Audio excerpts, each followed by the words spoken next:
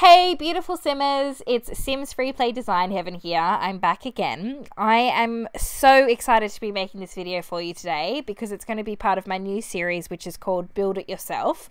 I love it how Simmers like to use my houses for inspiration, or sometimes they like to replicate my houses in their town, and I say go for it. Um, I do exactly the same. If I see something nice, I try and copy it as well. So I think it's good if we all try and share our designs. Um, but what I thought I'd do to make it easier for you guys is that I'd create a series where I would really slowly go through all of my designs without me nattering on about it like a crazy woman. And so that you guys can, I'll put a backing track of music. You can just really slowly look at my design. And then I'm going to put the build mode on so you can see the dimensions of the house in each room as well. So let me know what you think um, of this. It's, it's, this shouldn't go for too long, maybe about, you know, 10 minutes or so. Let me know you think once I'm done. Give me any pointers. I know a lot of you have said that you want me to do, um, you know, let's build uh, videos, and I'm just not sure if I'm up to that yet. I'm ju- I'm very fussy with the way that I build, and it takes me a really long time. So I think I just don't know if that would be so interesting seeing me me do it. But I am going to start sort of tampering and, and have a bit of a play around with Let's Build videos so that if you guys really, really want me to do that, potentially I can. But in the meantime, what I can do for you guys is, is show you um, how to build this one. So you can do a replica of this house here. Um, okay, so let's go. I will leave the talking now, and um, and you guys can can um, listen to music until we're finished. All right, let's go.